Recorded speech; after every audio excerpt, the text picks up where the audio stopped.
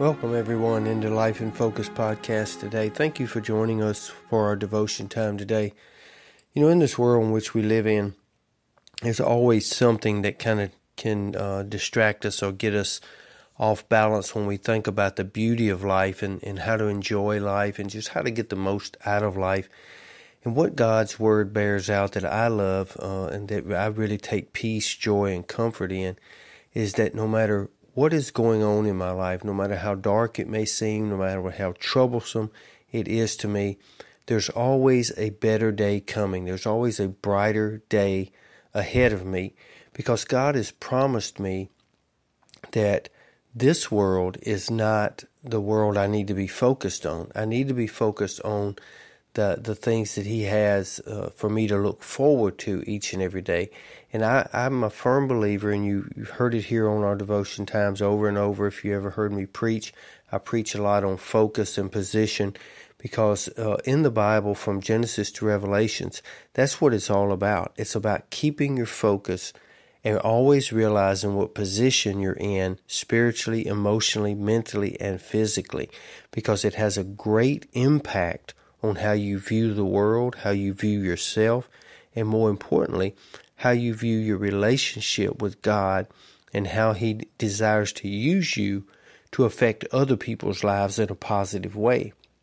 So in Romans chapter 8 this morning, the Bible bears out that there's always a better day to look forward to. And listen to verse 16 through 18 of Romans chapter 8 this morning. It says, The Spirit itself bears witness with our spirit that we are the children of God. And if children, then heirs, heirs of God, and joint heirs with Christ. If so, that we suffer with him that we may also be glorified together. Now listen to verse 18. For I reckon that the sufferings of this present time are not worthy to be compared with the glory which shall be revealed in us. That's a powerful, powerful uh, three verses there. And the reason why uh, God brings that to our attention today is there are many things that we do not really understand about the end of our life or the end of the world for that matter. But God has given us all the assurance we need that in order to have a joyful, expectation type life, we need to look forward to that better and brighter day. Paul knew enough about what was going on right then to say, I reckon. That's a term that's actually an accounting term. And what it means is that he had taken careful inventory, he had done all the calculations, and he come to the careful and reliable conclusion. And what Paul was comparing was the sufferings of this time, which he had personal knowledge of, and the glory to come for every believer in Jesus Christ. And it seems here that as Paul added up the multitude of his trials, heartaches, losses, and sorrows of this world, and he considered all of that in relationship to the glory that God has promised us that was to come, he came to a very good conclusion. They don't even need to be compared because the amount of the one far outweighs the other. So, this morning, any of you who have experienced even a fraction of the pain that this world holds and causes, I hope you find the same conclusion.